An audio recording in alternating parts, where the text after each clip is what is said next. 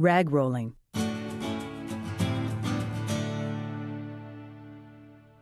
Before you begin this technique, make sure you prime your surface and apply your satin or semi-gloss base color and allow it to dry for 24 hours.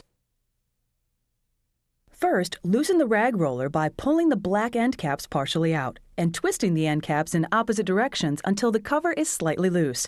Then push the end caps back in. The loosened rag roller can now be attached to a 9-inch roller frame.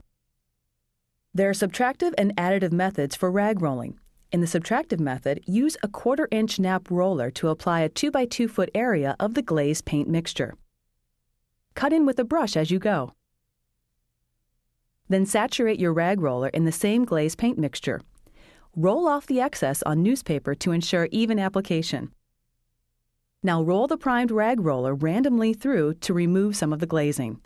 As the rag roller becomes saturated, roll the excess glaze onto newspaper Keep going until you get the desired effect.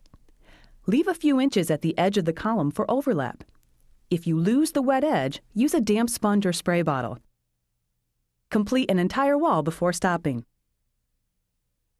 In the additive method, saturate your rag roller in the same glaze paint mixture. Lightly roll off the excess on newspaper to ensure an even application. Start in the top corner and roll the rag roller randomly over the wall. Continue rolling randomly until the desired effect is achieved.